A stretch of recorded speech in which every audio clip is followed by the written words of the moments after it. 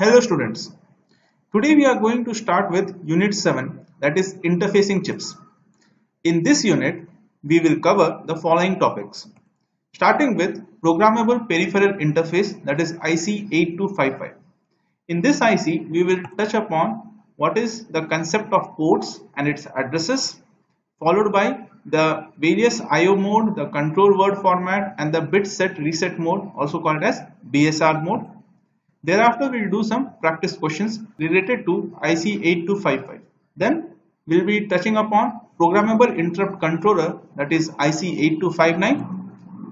We'll understand what is the internal architecture of this IC. Thereafter, we'll understand the sequence of operation and the various command words. After that, we'll be moving to serial communication and in this topic, we'll understand what is framing with respect to RS-232C. So we'll start with the first topic that is Programmable Peripheral Interface IC8255. So let's begin. Let us try to understand the meaning of each of the words in this Programmable Peripheral Interface. Programmable means something whose behavior can be controlled by means of software instruction, whereas the peripheral relates to input and output device with respect to your microprocessor. An interface means something which links one device with another. Thus, we can say that Programmable Peripheral Interface or in short PPI IC8255 is a general purpose programmable IO device which is designed to interface the microprocessor with its outside world such as keyboard, monitor, ADC or analog to digital converter, DAC or digital to analog converter, etc it can be programmed as per the user requirements. So let me just write it out for you. So PPI IC8255 is a general purpose programmable IO device designed to interface microprocessor with its peripherals and can be programmed as per user requirements. Now, programmable peripheral interface, it performs the input and output functions by taking a hardware approach through software control. So it adopts hardware approach through software control. Now what does this mean? While simple ICs such as latches and tri-state buffers, they are hardwired hardwired meaning so they can perform only specific functions. Whereas this programmable peripheral interface they can perform many functions depending upon how it is programmed. And it provides various functions such as multiple IO devices, time delays. It can also be included as counters and it can provide multiple interrupts also so let me number it. So broadly four functions it can be used to provide. Now let us see by means of a block diagram where does this IC8255 fit into the overall picture of your microprocessor being interfaced with your IO devices. So usually what do we do is we have a 8086 microprocessor and the input device and output device are directly connected to the hardware pins of the interrupt such as your NMI or INTR. Now, usually INTR is used. Now we see that here we are having a limitations. We are only having two hardware pins and we are not able to even program how this device should act and various other functionalities such as your timer delay or you want to initiate some bidirectional data transfer etc. When we use IC8255 the scenario changes.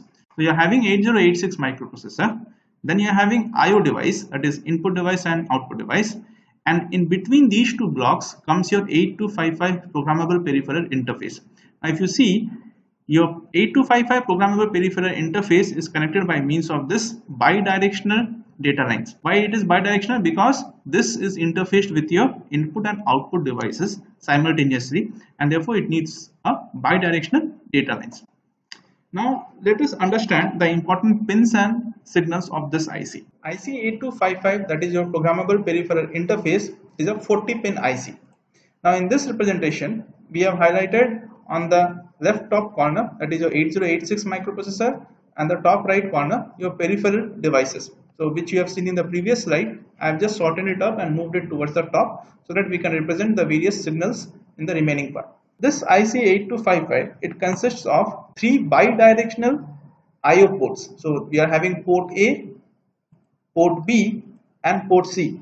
So if you can see each of them is 8 bit in size. That is port A is 0 to 7 so 8 bits. Port B is also 0 to 7 8 bits. And port C also 0 to 7 now why it is all bidirectional? Because each of them can be attached to either input device or output device. So it can perform both input and output function. That is why they are bidirectional in nature if you can see this port A is green in color and port B is yellow whereas port C is a mix of both now why is this so this is because port C is further divided into two parts that is 4 bits of each. So port C is having port C0 to port C3 and port C4 to port C7. So it is further divided into two equal parts of 4 bits each and this is called as port C lower. So port C0 to port C3 or PC0 to PC3 is called as port C lower and PC4 to PC7 is called as port C upper these are controlled by two different control groups. So you are having a control group A. Now this control group A, this controls port A and port C upper. So port A consists of 8 bits that is port PA0 to PA7 and PC4 to PC7. So this is controlled by a control group called as control group A. Likewise, we are having a control group B which controls port B0 to port B7 and PC0 to PC3. All these ports that is your port A, port B and port C are connected to the peripheral devices. There is one IC called as control register which is there inside your IC8255 which controls which of these ports has to be connected to which of the peripheral devices and how these ports should act whether it should act as an input device or output device or as a bidirectional data transfer. All these things that is your port A, port B, port C as well as your control register needs to be controlled by your microprocessor. And how is it controlled? So for understanding this, let's understand the signals which are coming from your left hand side that is your microprocessor side.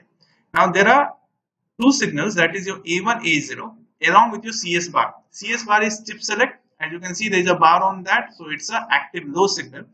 So depending on the values of these three signals that is your chip select A1 and A0 now A1 and A0 are your address lines. So let us try to recollect the concept of address lines. In your 8086 microprocessor, there are 20 address lines. Out of that, the lowermost two address lines, that is your A0 and A1, they are used to select among all these four things. So you can see two address lines, so it can give you a permutation combination of four or four options depending upon the values of zeros and one. That will try to understand it later. But two lines will give you four options and they are used to select between port A, port B, port C or your control register. And chip select is used to activate your IC. So apart from that, the signals which are coming from your 8086 microprocessor will be your read and write bar. So if the microprocessor needs to read a data from your input device, it will use a read bar signal, which is an active low. And if it wants to write uh, data on your output device, it will use a write bar signal. Apart from that, it will make use of your data lines that is D0 to D7. Now as you can see this is a bidirectional data lines. So data lines are bidirectional and address lines are unidirectional. So D0 to D7 are your bidirectional data lines which can be used to either send or receive the data depending upon whether it is connected to an input device or an output device. And lastly we are having a reset pin so which resets the functionality of your IC8255 so that it can be again programmed depending upon what the user wants. Now these are the important pins and signals and the two more signals which is your VCC and ground. So I have omitted that two signals here because it is obvious for every IC you'll be having those two signals. Now let me just summarize the entire part which we have covered here.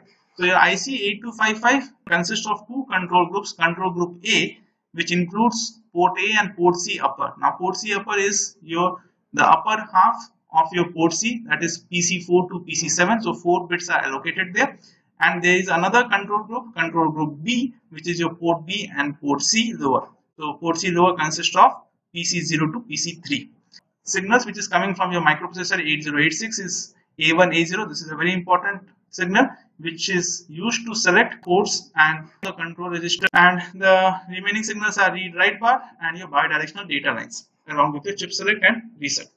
Now what we'll do is we'll try to see the entire block diagram of your IC8255. Now let us discuss the block diagram for IC8255. This is just for the representation purpose. You need not to remember this block diagram. So we are just going in depth what we have just seen before about the important instance signals. So if you see this is your group A control or control group A and this block is your control group B.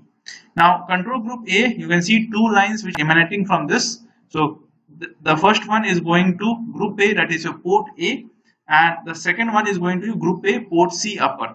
So as what we have discussed earlier your port A and port C upper is called as group A and for that we are having a control unit it is group A control. Likewise if we go to group B control this will control two ports one is your port C lower and the another is port B. So port B and port A each of them are 8 bits that is why 8 is written here and you are having a representation PB0 to PB7.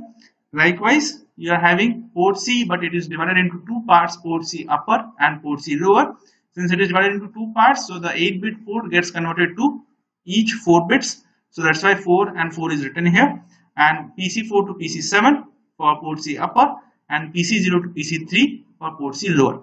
Now this is towards your peripheral side. Now coming to your 8086 microprocessor side, you are having a read write control logic which will be writing into the control register. So here you are having the control register and which of these ports or the control register has to be selected that is determined by your A1 A0 signal. Now this signal which you are seeing here is your chip select signal. So it is an active low signal.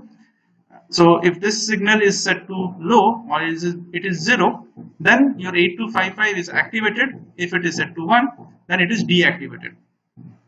The rest of the signals which you have already seen is your read bar, write bar and reset and here you are having a bidirectional data bus. Now this there is a data bus buffer which will store the data temporarily for the transfer of the data either to from your IC to your microprocessor side or from the microprocessor to your IC side. So that is why we are having a buffer.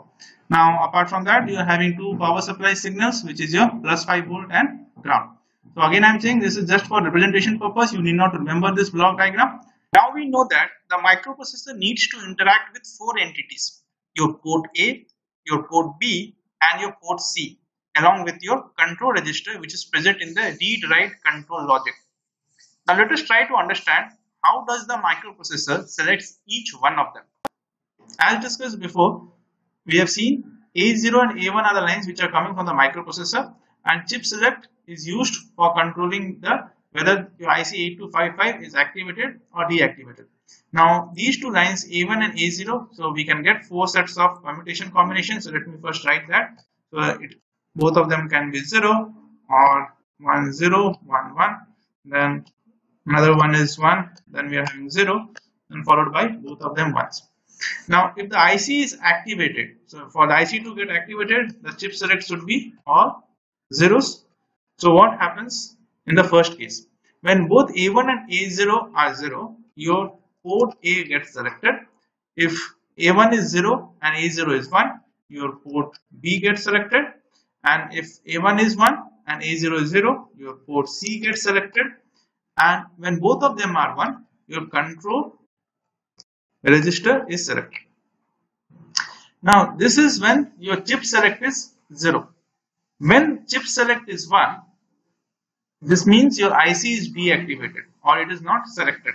So irrespective of the condition of A1 and A0 so I can write here don't care the IC can be said to be deactivated. So this is how your different ports or your control register is selected by means of your A1 and A0 signals. And chip select is used to either activate or deactivate your IC8255. Now once we are done understanding this part, we can go ahead and understand what is a control word format and which explains the importance of the various bits in the control register. The behavior of IC8255 is controlled by means of control register which is of 8 bits in size which is represented here as D7 to D0. The data written into the control register is called as control word. Please don't get confused with the terminology. As mentioned, even though the actual data written in the control register is only 8 bits, it is still called as control word and not control byte. Now let us understand the functionality of each of these bits. So as you can see, I have already colored the first three bits that is D0 to D2 as yellow and the D3 to D6 that is the next four bits as green and D7 is left as white. So what I want to highlight here is D0 to D2 is used for your control group B. So as we have seen the color coding from the very first diagram or, or the block diagram of your IC8255. So these three bits are used for your control group B. Now when I'm saying control group B it means port B and port C lower. Whereas these four bits the ones in the green is used for control group A that is your port A and port C upper and D7 we try to understand what does this D7 bit means in the later point of time. Starting with your D0 bit.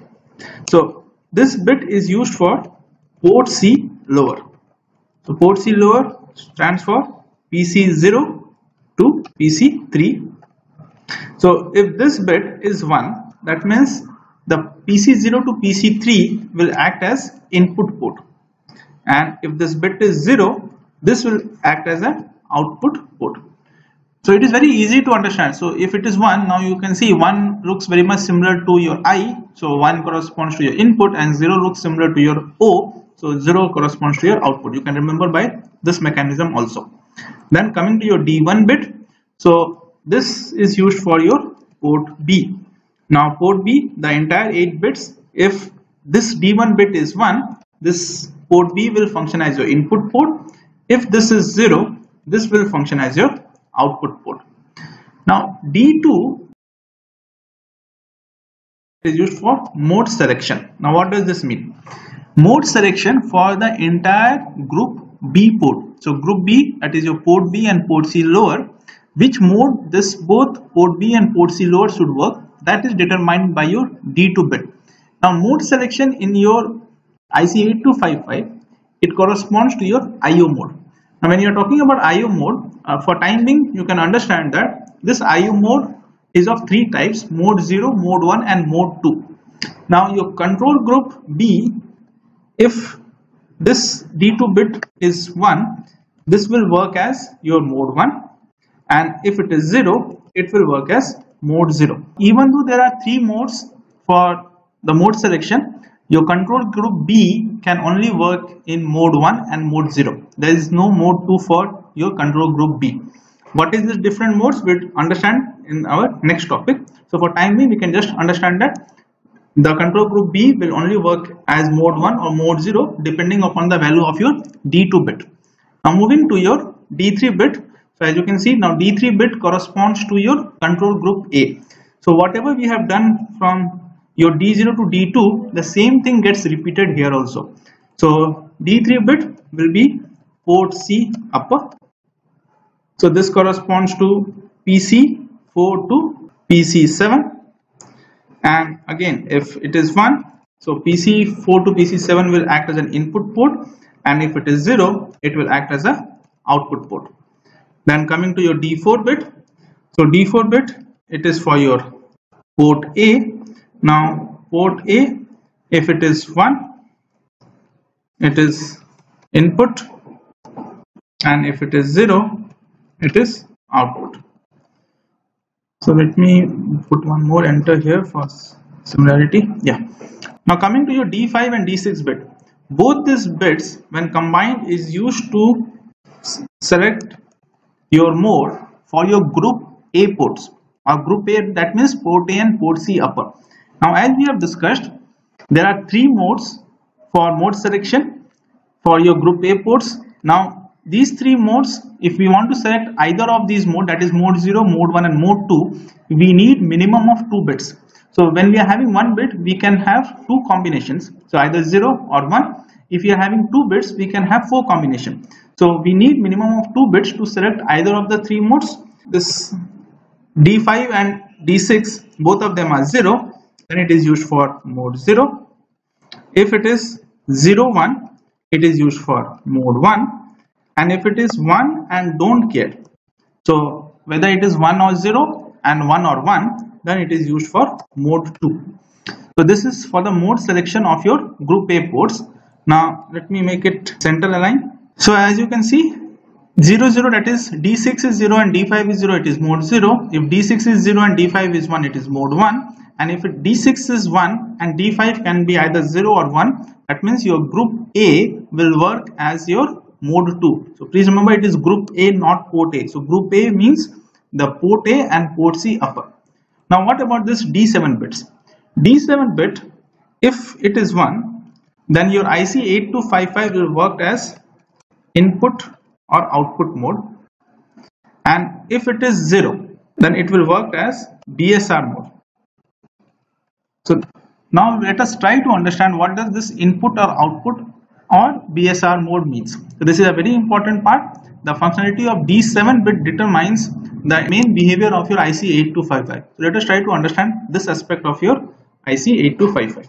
IC8255 can be operated in different modes depending upon the D7 bit of your control register. Now we will discuss what is the importance of this D7 bits. So we know that if D7 bit is 0, it will be BSR mode or bit set reset mode and if it is 1, it will be in IO mode. Now what is this bit set reset mode? So from the name itself you can understand that it is used for either setting that means making that particular bit as 1 or making it as 0. So that is why it is called as bit set reset mode. So for this mode, the port which is involved is your port C. Now port C, individual bits can be made at as 1 or 0 and it does not have an effect on your IO mode. So the importance of this BSR mode we'll try to understand by means of certain questions. For time being I can just say that it is used for individually setting your port C bits as 1 or 0. Now where it can be used, suppose you are having 5 LEDs and you want to attach each of these LEDs to one of the pins of your port C. So since there are 8 pins of your port C, I can use 5 pins among them to attach my LEDs. Now if I want to sequentially turn on or turn off these LEDs, I can use this BSR mode for that purpose. Now let's move to your IO mode or input output mode. Now this IO mode is set or this your IC8255 goes into IO mode when your D7 bit is 1. As discussed before, your IO mode is of three types that is your mode 0. In this mode 0, all your ports that is your port A, B and C works as your simple input or output ports. Now why it is said as simple, we'll understand it in the next mode which is your mode 1. Now mode 1 in this your port A can function as your handshaking input output port and port B can also be used for handshaking or port B can also be used for your simple IO ports. That is why it is given AND or or B. Fine.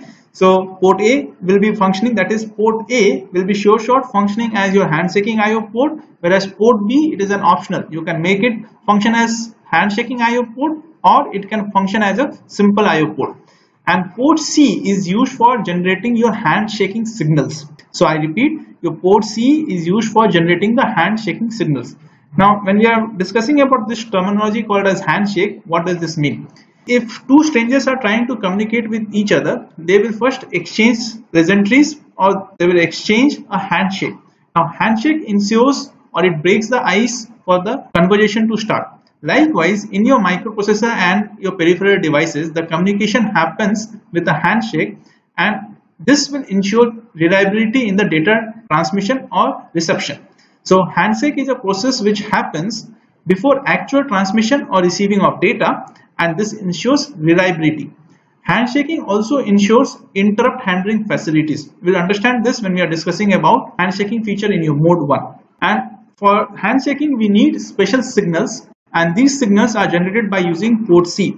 So if you see in comparison to your mode 0, your mode 1, port C will not work as your IO port but it will be used for generating your handshaking signals and your interrupt handling signals.